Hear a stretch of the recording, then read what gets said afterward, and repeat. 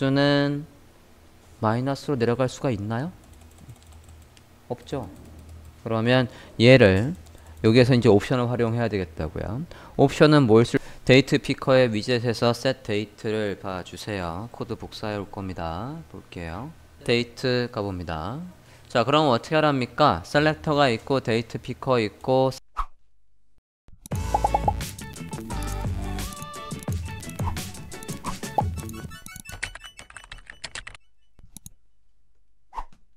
다음 볼까요? 자 여기까지는 그럼 끝난 거고요. 이제 요거 스피너 부분 볼게요. 여기 클릭을 하면 이렇게 해서 좌우 위아래 숫자가 바뀌는 거 요거. 일단은 jQuery UI를 돌리지 말고 말고 한번 해볼 건데 걔가 한계가 있습니다. 그 한계를 보여드리고 UI를 적용을 해보겠습니다. 가볼게요. HTML 갑시다. UI의 위젯 다음에 How many years에서 몇 년의 경력이 있습니까? 라고 돼 있는 부분 그대로 복사해서 하나 더 만들게요. 여기는 숫자를 입력하는 거죠. 그러니까 여기가 넘버로 바뀔게요. 넘버 얘는 experience로 바꾸겠습니다. Experience. Id도 experience로 바꾸고 그냥 짧게 풀문장 안 쓰고 그냥 experience라고 할게요 클래스명은 일단 위에 거 빼고 볼게요. 어떻게 나오는지 일단 보고 그 다음에 수정을 해볼까 합니다. 자, UI의 위젯의 experience라고 하나 만들어 줬고요. 타입을 number라고 했어요. HTML5에서 새로 생긴 타입 중에 하나인 number를 썼습니다. 클릭을 하면 저 number라는 건 브라우저에서 이렇게 위아래 숫자를 이 삼각형을 만들어 줘요. 하지만 저 삼각형을 색깔을 바꾼다거나 크기를 바꿀 수 없습니다. 왜? 이걸 선택조차 못하니까 없다고요. 그죠? 심지어 얘가 뭐로 봤을 땐 아더 브라우저 파이어폭스에서 볼게요. 파이어폭스에서는 모양이 또 달라요. 여긴 기본적으로 나오는데 얘는 마우스 올렸을 때 나오고 또 i에서는 i에서는 개뿔 아무것도 안 나옵니다. URL 버튼을 안 만들어준다고요. 그러니까 여러분이 애써 만들어서 크롬에서 잘 나오네 라고 해서 끝나버리면 안 되는 거죠. 브라우저에서 다 확인을 해야 된다고요. 저렇게 똑같이 안 나온다면 똑같이 나올 방법을 찾아야죠. 근데 그게 폼에 있는 거에서는 jQuery UI가 지금으로서는 가장 낫다고요. 자, 얘한테다가 이제 뭘 돌려야 된다는 겁니까? jQuery UI에서 요거는 뭐로 하는 건가는 알고 있어야 되겠습니다. 다시 위젯에 가볼게요. 왼쪽에 위젯에서 어디를 보시냐면 spinner입니다. spinner. 왼쪽에 위젯에서 spinner 얘라고요. 여기에서 이렇게 위아래를 클릭해서 숫자를 만들 수 있는 요 녀석을 볼까 합니다. 그 외에 뭐가 있는지 한 번쯤은 눌러보세요. 오른쪽에 화폐도 있고요. currency, decimal 해서 소수점도 있고요. map, 위도와 경도 있고요. 마이너스 10에서 10까지 해서 있군요. 어, 그러네요. 무조건 누르기만 하면 그 안에서만 움직이네요. overflow, time. 그래서 시간을 바꾸는 것도 있고요. 저게 12시 넘어가면 AM으로 바뀌겠지? 그렇지. 이런 식으로 되는 것도 있다고. 한 번쯤 보고 아, 그런 건 거기 있었지? 라고 해서 여기 위치만 기억하시면 된다고요. 코드를 외울 필요는 없어요. 여기 다 있는데 외울 필요가 없죠. 그죠? 자, 얘를 구현하려면 어떻게 하면 된답니까? 마찬가지 view source를 봐서 뭘 돌리면 되는 건가? 라고 보면 id 스피너가 있고 걔한테다가 뭐만 돌리면 된답니까? spinner라는 위젯만 돌리면 된대요. 복사해서 가볼게요. 맨 위에 한 줄만 복사했습니다. 복사할게요. 복사하셨으면 스크립트에 가서 넣을까요? id experience다 하는 거라지 않습니까? id experience 복사 넣어주세요. 이렇게 해서 spinner를 돌렸습니다. 브라우저 하면 새로 고침 해보시면 이제 모양이 싹 바뀌었죠. 그리고 지금 보면 마우스로 했을 때 이게 나오는 건 타입이 뭐로 돼 있기 때문에 그래요? number로 돼 있다고요. 이제 그거 바꿔야 돼요. 얘 아까 위젯을 보면 타입이 뭐로 돼 있어요? 여기에 보면 타입이 없다는 건 기본으로 텍스트 돼 있다는 얘기예요. 요거 HTML에 가서 이거 number로 하시면 안 된다고요. 텍스트로 바꿔야 돼요. 요거 number라고 하지 하면 안 된다고요. 텍스트로 바꿔 주십시오. 어차피 브라우저마다 똑같이 안 나오는 거 number라고 쓰실 필요가 없습니다. 다시 스크립트로 와서 보고 새로 고침 해볼게요. 이제 온전하게 jQuery UI의 힘을 빌려서 이렇게 잘 나오고 있습니다. 여기까지 확인되었습니까? 자, 만약에 얘가 음? 쇼핑몰에서 상품 개수라고 생각을 해볼게요. 상품 개수는 마이너스로 내려갈 수가 있나요? 없죠. 그러면 얘를 여기에서 이제 옵션을 활용해야 되겠다고요. 옵션은 뭘 쓸 수 있냐면 어, 여기에서 이제 쓸 거예요. jQuery UI의 사이트 다시 한번 가볼게요. 여기에 이제 이 기본 기능 말고 여러분이 여기에서 뭔가를 바꾸고 싶으면 얘가 제공하는 옵션의 활용법을 보셔야 된다고요. 옵션의 활용법은 어디 있냐면 API 다큐멘테이션에 있습니다. API documentation 하단에 예 보실게요. 찾았습니까? 들어가 볼게요. 들어가면 기본적으로 기본 옵션 중에 저는 뭘 쓸 거냐면 지금 min, max, step 요 세 가지를 써볼까 합니다. min 최소값, max 최대값 누를 때마다 값을 얼마씩 올릴지 step이 있다고요. 자, min부터 볼까요? min 클릭. 자, 미니멈 어떻게 선택한답니까? 여기 중괄호 안에다가 min이라는 옵션이 있으면 된대요. 찾았습니까? 복사. 복사해 주세요. 제가 하이라이트한 부분만 복사. 이렇게. 자, 스피너 안에 가로를 만들고 거기에다가 옵션을 넣으면 된다지 않습니까? 똑같이 해볼까요? 여기에다가 붙여넣기 했습니다. 최소값은 0이야 같은 컨셉으로 맥스는 어, 10이야 같은 컨셉으로 스텝은 2야 라고 해볼게요. 새로 고침 해보면 자 클릭할 때마다 2씩 올라가고 10이 맥스고 하단을 했을 때 미니멈이 0이라고 했으니까 아까처럼 마이너스로 내려가질 않지요. 확인됐습니까? 자 그럼 여기까지 이, 어, 이 정도만 하시면 돼요 스피너에서는 그 다음 이제 완료본 볼게요 지금 이제 여기까지 됐다고요 됐고 그 다음에 이제 날짜 언제부터 일할 수 있습니까? 라고 묻는 거예요 당장 내일부터요? 라고 하면 되죠 날짜 넣어 볼게요 HTML 가보겠습니다 예 UI 위젯 그대로 복사해서 하나 더 만들고 이번에는 언제 할 수 있냐요 start date라고 할게요. 아이디랑 매치하면 되겠죠? When can you start? 자, 타입을 일단 date로 넣어보겠습니다. HTML5에서 새로 생긴 타입의 속성인 데이트 저장하고 새로 고침. 자, date라고 하면 브라우저 차원에서 여기에 뭘 만들어주죠? 달력을 만들어줘요. 그죠? 이렇게 해서 달력을 잘 만들어준다고요. 이 정도만 해도 훌륭하지만 단점은 이 달력이 뭐에서 파이어폭스에서는 달력의 모양이 다르고 또 누구 i에서는 아예 어디 갔니? i에서는 달력 자체가 안 나온다고요. 달력 자체가 안 나온다고요. 그러니까 우리가 애써 HTML5에서 새로 생긴 이 속성을 써봤자 소용이 없다고요. 그놈의 IE 때문에. 그죠? 됐나요? 자 여기 못 쓴다고요. 이 달력의 모양새가 다 똑같지도 않고 나오지도 않, 않는 브라우저도 있으니까 얘를 쓸 수가 없습니다. 텍스트로 다시 바꿀게요. 자 그럼 jQuery UI에서 누구의 힘을 빌려서 또 jQuery UI에 가볼게요. jQuery UI에 뒤로 가서 위젯 페이지로 다시 와주시고요. 위젯에서 date picker 얘를 쓸게요. 위젯에서 date picker 보십니다. 찾으셨습니까? 찾으셨나요? 들어가 볼게요. 자, 여기 클릭하면 이렇게 달력이 나오는 거. 이 달력. 이 달력이 Firefox든 IE든 다 똑같이 나오는 달력이라고요. 저걸 구현하려면 어떻게 해야 된답니까? 소스를 봐야지 또 view source 봅니다. view source에서 어떻게 하래요? 얘가 아이디가 있으면 그 아이디에다가 date picker를 돌려 라고 한대요. 복사 date picker의 view source에 이 코드 복사 했고요. 스크립트로 와서 우리는 누구한테 넣는 겁니까? 이 id start date에다 넣는 거죠. id start date 복사 붙여넣기 저장하고 새로 고침 클릭하면 달력이 잘 나온다고요. 완료본과 비교했을 때 모양이 아까 카테고리하고 똑같이 나와야 되는 거지 않습니까? 그럼 카테고리에다 아까 우리가 클래스명 넣어준 거 있죠?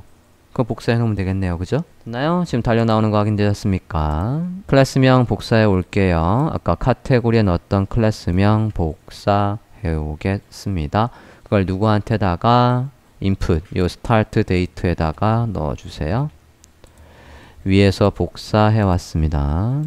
됐죠? 저장하고 브라우저 하면 새로 고침 하면 돼 있고 아 아까 카테고리에서도 우리가 CSS를 좀 바꿨구나. 얘도 그렇게 해줘라고 해서 CSS에서 바꿉시다. ID start date 안에 UI에 버튼이 있으면 얘도 테두리에만 얘만 나와라고 해서 CSS에서 누구한테 가서 여기에 와서 콤마 누구 ID start date에 뭐가 있으면 UI에 버튼이 있으면 이라고 할게요.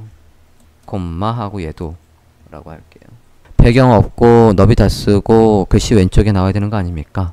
그렇게 저장하고 보면 똑같이 나오죠? 이제 클릭하면 날짜 잘 선택할 수 있습니다. 여기까지 됐습니까? 음. 날짜에서도 여러분이 조금 더 아실 필요가 있습니다. 예를 들어서 지금 보면 클릭을 해보면 어디든 선택할 수 있어요. 언제부터 일할 수 있습니까? 어제요. 라고 할 수는 없잖아요. 언제부터 일할 수 있어요? 오늘 이후. 즉 여기가 뭐가 돼 있어야 돼요? 오늘 이후만 활성화돼 있어야 된다고요. 그걸 옵션을 이용해서 확인을 해야 되는 거니까 jQuery UI에 또 가야지. jQuery UI. 자, date picker에 어디를 보십니까? 데이트 피커의 API 다큐멘테이션 봐주세요. 데이트 피커의 API 다큐멘테이션 봐달라고요. 옵션에서 내가 지금 필요한 게 뭔가를 찾아서 걔의 사용법을 봐야겠다고요. 들어가 보겠습니다. 들어와서 지금 제가 원하는 건 뭐냐면 시작 날짜를 바꾸고 싶은 거예요. 그러니까 시작 날짜는 최소 날짜라고 보시면 되고 옵션에서 뭐가 있나요? min date가 맞을 것 같습니다. 찾았습니까? 옵션 중에서 min date 들어가 볼게요. 자, min date에 보면 중괄호를 열고 거기에다가 이렇게 쓰면 된대요. 찾았나요? 네, 중괄호부터 중괄호까지 복사하실게요. 중괄호부터 중괄호까지 복사 됐나요? 복사하셨으면 갈게요. 스크립트로 가서 여기에다가 넣으라는 거 아니에요? 그죠? 이렇게 넣었다고요. 여기에다가 우리가 뭘 알아야 되냐면 오늘 날짜를 출력하는 방법을 알아야 돼요.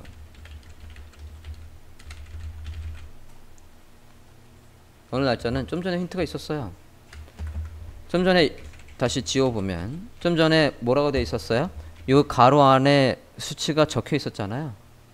저걸 없애면 돼요. 그러면 오늘 날짜가 나옵니다. 세미콜론.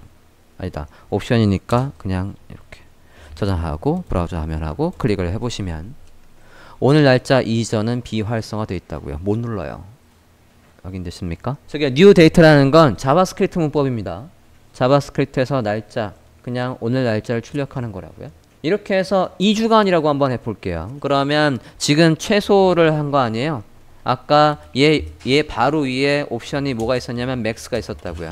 max date. 지금부터 2주 플러스 2 weeks, 2 weeks. m 하면 2 months, year 하면 2y 라고 하시면 돼요.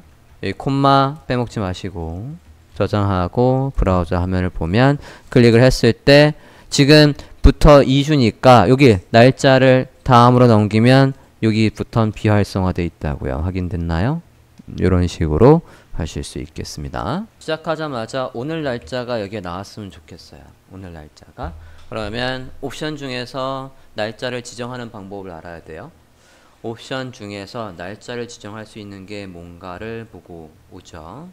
jQuery UI의 위젯의 데이트 피커의 API 다큐멘테이션을 보고 있습니다. API documen 상단에서 보죠.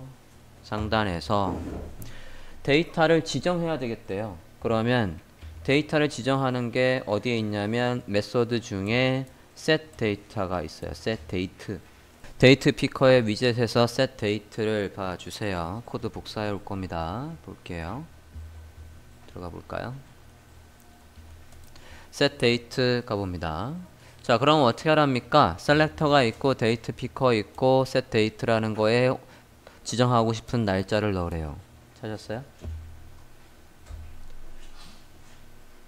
복사. 복사해서 코드로 오시고 밑에다가 붙여넣기 해볼게요. 우리는 selector가 누굽니까? 예지 않습니까? 예. 그대로 붙여넣기 했고요. 데이트 피커에다가 set date에서 이 날짜가 아니라 오늘 날짜를 지정하고 싶다고요. 아까 오늘 날짜 어떻게 가져온다고요? 그렇지. new date 이렇게 하면 오늘 날짜 가져온다고 하지 않았습니까? 그게 여기에 들어오면 되겠네. 저장하고 브라우저 화면 볼게요. 자, 원료본과 비교하면 이제 여기까지 된 거예요. When can you start까지 된 거고 이제 이 부분 볼게요. 자, 우리 사이트는 어떻게 알고 왔습니까? 또는 우리 회사는 어떻게 알고 왔니? 라는 거를 작성을 할 건데 지금 테두리가 이렇게 있고 여기에 메시지가 이렇게 나온다는 건 HTML에서 뭘 써야 된다는 얘기입니까? 필드셋을 써야 된다는 거죠. 써볼까요? UI의 위젯 다음에다가 작성하겠습니다. 필드셋 넣을게요. 필드셋 저 메시지는 어떤 태그 안에 넣어야 돼요? How did you hear about us? 라는 저 메시지는 어디에 넣어야 돼요? 라벨 레전드 넣을게요.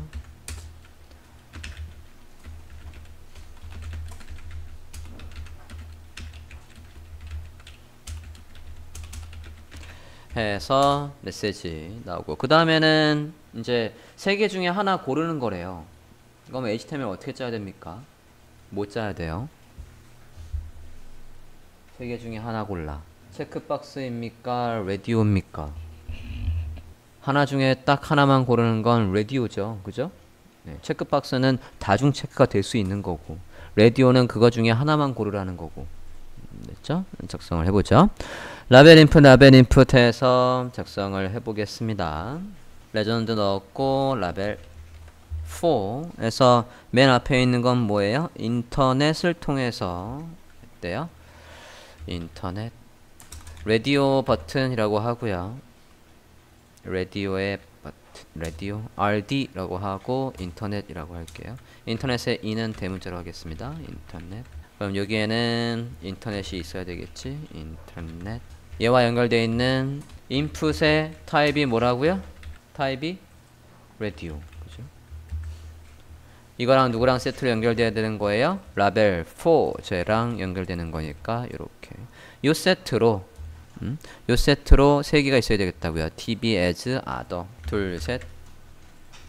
rd의 tv 그냥 tv라고 할게요. tv as 광고를 보고 라고 하고요. 그 다음엔 other rd의 other other 여기 other 뭐 진을 통해서든 뭐 어디서 들었겠지. 이렇게 라벨 인풋 라벨 인풋 세트로 해서 잘 작성을 해 주십시오. 보기 편하게 엔터 좀 때려 드렸습니다. 브라우저 화면 확인해 보시겠어요? 브라우저 새로 고침하고 클릭을 해 보시면 세 개 중에 하나만 선택이 됩니까 다 선택됩니까 다 선택되죠 자 반드시 뭐가 있어야 된다고요 뭐가 있어야 세 개 중에 하나만 선택됩니까 자, 다시 묻죠. 지금 이게 폼이에요. 사용자가 지금 선택하는 게 데이터베이스에 저장이 된다고요. 이 각각의 항목에 지금 뭐가 없어서 다중 체크가 되고 있는 겁니까? 자, 어디에서 우리를 알고 왔니? 이게 얘가 만약에 사용자가 얘를 체크했다면 value 넣어볼게요. value에다가 인터넷을 보고 왔다라는 게 저장이 돼야 되는 거고 얘를 만약에 체크를 했다라고 하면 value 이 사용자가 쓰는 게 아니라 지금 이거 중에 고르라고 하는 거 아닙니까? 미리 값이 정해져 있는 거 고르라고 하는 거니까 value가 있어야 된다고요. 그 value가 TV ads로 들어가야 되는 거고 그 value가 뭐로 들어가야 되는 겁니까? 얘를 선택했다라고 하면 other로 들어가야 된다고요. 다시 묻지요. 여기에 input에 도대체 지금 뭐가 들어가야 하나만 선택이 됩니까? 폼이 뭐 하는 거라고요? 데이터베이스에 저장하는 거라고 했잖아. 이거 어디에 저장돼야 돼요? 저장이 되려면 데이터베이스에 각각의 뭐가 있다라고 했어요. 위에 잠깐 보면 중간에 안 적었지만 위에 얘를 보면 사용자가 얘를 선택을 하면 이 value가 데이터베이스의 필드명, 테이블 안에 필드명, location에 들어가는 거라고요. 여기에 저장이 되는 거라고. 그러면 얘를 여기에서 사용자가 얘를 체크를 하면 데이터베이스에 어디에 들어가야 되는지 필드명이 없지 않습니까? name 항목이 없다고요. name 항목을 적을게요. name 제가 말하는 기본이 이런 거라고요. 여러분 HTML 짤 때 여기에 name이 뭐가 있어야 된다고 같은 필드 안에 그 필드가 예를 들어서 referrer라고 해서 출처 referrer라는 걸 만들었다라고 하면 이 name이 다 똑같이 있어야 이 name이 다 똑같이 있어야 사용자가 얘를 선택하면 name의 항목에 뭐가 들어간다고 TV의 as가 저장되는 거라고요. 전송되는 거라고요. 이 name이 달라버리면 안 되는 거예요. 라디오 버튼 저장하고 브라우저 하면서 새로 고침하고 이제 눌러보면 뭡니까? 사용자가 선택한 거에만 체크가 되지요. 라디오 박스가. 폼에서 가장 중요한 거라고요. 라디오에서는 반드시 name이 일치해야 한다. 자, 됐으면 자, 이 모양이 지금은 그냥 라벨 인풋 이렇게 나오는데 얘처럼 나오게 하고 싶대요. 얘처럼. 완료본처럼 나오게 하고 싶대요.